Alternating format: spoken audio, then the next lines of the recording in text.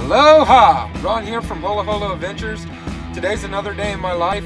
I'm going to the vet center today to go pick up some gear and everything. Got some uh, floors to do at the house, so we'll be working on the master bedroom today and got to take some stuff to the dump. You see in the back there, that's a lot of the flooring and stuff from the from the master bedroom from the other day. So let's go cruising around.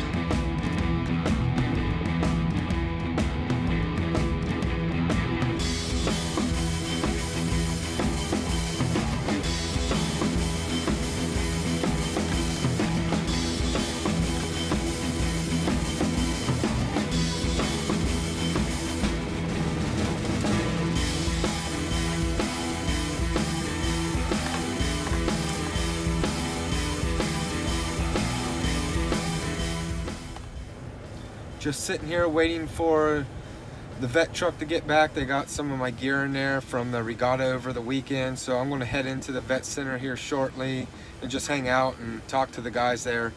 Uh, fun fact, I actually got my start serving veterans after um, I was medically retired through the vet center. I started there as a work study and started working with their outreach coordinator as an outreach assistant there and about two years later I started working for a veteran nonprofit as an outreach specialist uh, reaching out to the veterans supplying events for them to get them out and about and uh, in the community and everything. So they uh, they have a better transition and all that and spark an interest. So they're not just sitting there on the couch drinking their life away and help them uh, deal with their their injuries, if that is physical or mental.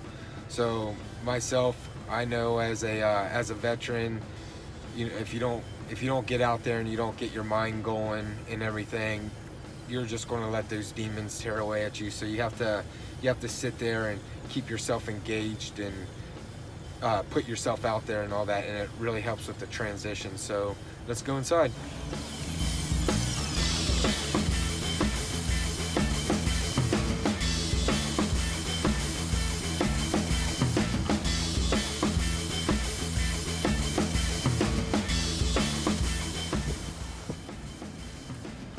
So just got done here at the vet center, heading back home. Uh, I got here, the truck was not here, and then my buddy who works here actually called me up and said, oh, I'm stopping by your house, so I'm heading back home now to get everything out of his truck, which will make it a lot easier. At least I don't have to move it two different times. Now we just move it once. So start making my way back home.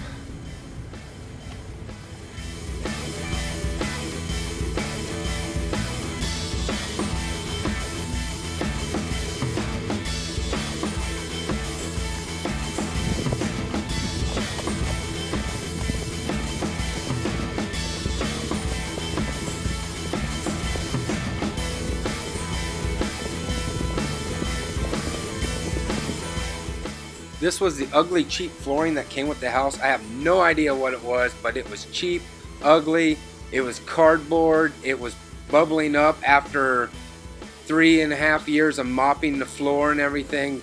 Parts of it were bubbling up, peeling away. This flooring was cheap.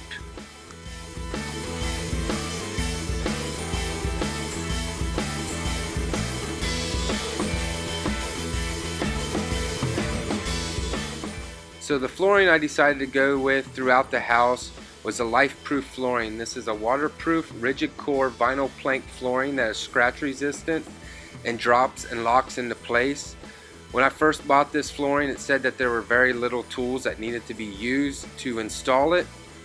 All the directions and YouTube channels I watched said that all you needed was a razor blade to score this flooring several times and then you'd be able to uh, snap it in half. That was not the case though. Besides needing the typical tape measure and different size squares, I did need a circular saw and jigsaw to make sure that cuts were made properly while installing this flooring.